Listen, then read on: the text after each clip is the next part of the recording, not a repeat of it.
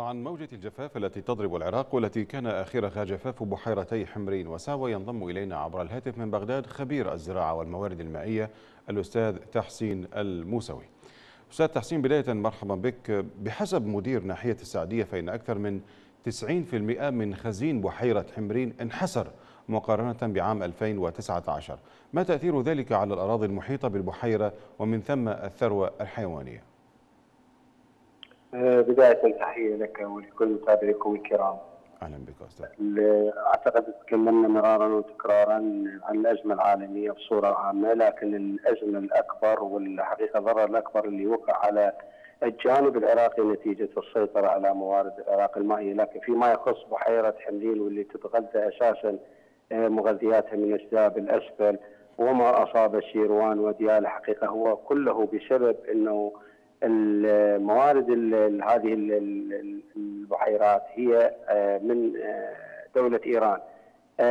بعد إنشاء حوالي أو حرف مجرى الأنهر من إيران بحدود 150 كيلو متر تقريبا الإيرادات أصبحت صفر بالنسبة من ديالة وحميد فأمر طبيعي أن تكون والمسألة المسألة المهمة الأخرى أنه السنة الجافة الموسم الثالث على التوالي.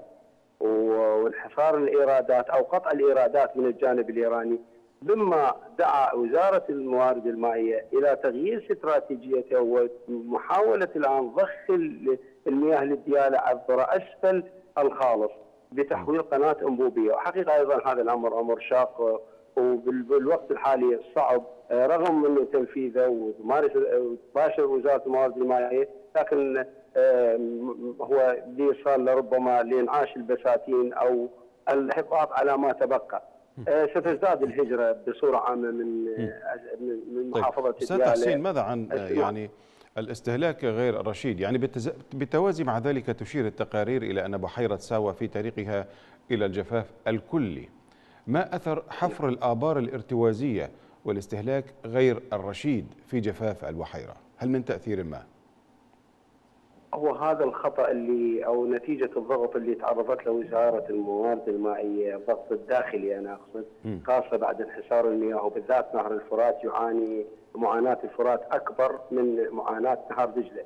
الاطلاقات بصورة عامة انحسرت انحسار جدا قوي. يعني إحنا الإطلاقات اللي كانت تجي عبر الفرات هي 500 متر مكعب بالثانية اللي 58% حصلت العراق والباقي سوريا أصبحت الآن لا تأتي أكثر من 150 متر ووصلت أيضا إلى الصفر في هذا الموسم.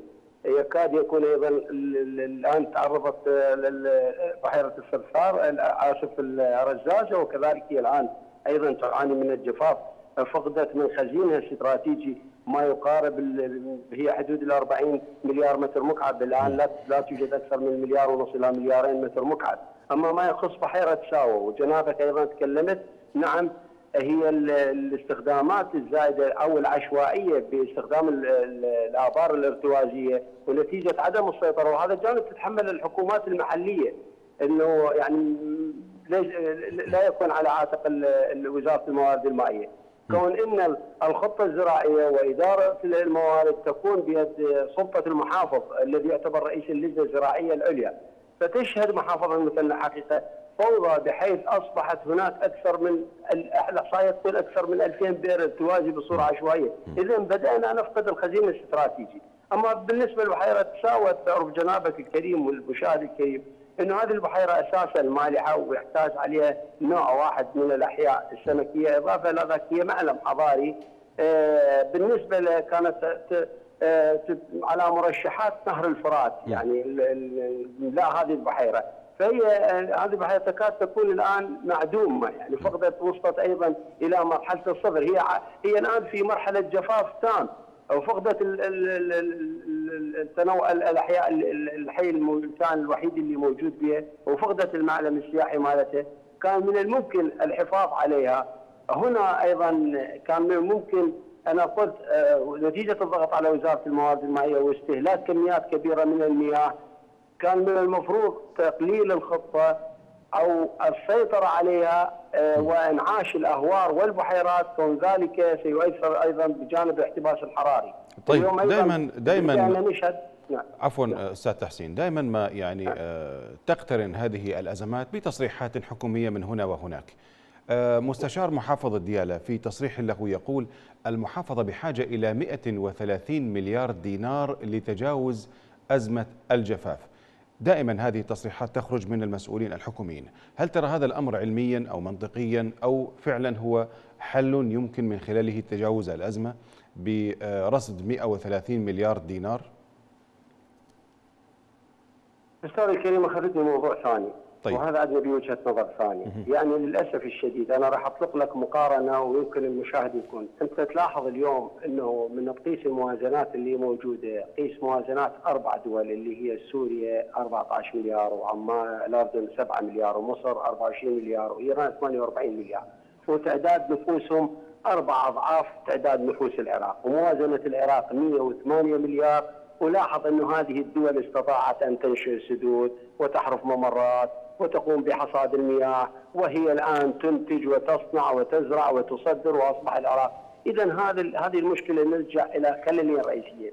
الجانب الأول وهو الفساد اللي أخطر من الارهاب والجانب الثاني أيضا التعدد مصادر القرار اللي افقدته أولوياته، يعني ملف ما يعني ملف سيادي نعم. ملف المياه، إن الله سبحانه وتعالى خلق اثمن شيء بعد البشر هي المياه، بعد نعم الإنسان هي المياه. إنه هذا الملف يكون يعني بغياب فاقد المركزية واليوم ملف دولي مهم بالمناسبة يعني اللي أخطر من هذا اللي نعم. افصحت عنه وكالة الاستخبارات الأمريكية نعم. بعد ما رفعت السرية عن ملف المياه إنه العراق أيضا حيدخل ضمن 11 دولة مهدد أيضا بالأمن الغذائي ومهدد بالتغيير المناخ والتوترات نعم. الدولية وتشمل حتى آثار على الأمن القومي. يعني شكرا. هذا الجانب المياه جانب صعب جدا. نعم. شكرا جزيلا أستاذ تحسين الموسوي. كنت معنا عبر الهاتف من بغداد خبير الزراعة والموارد المائية.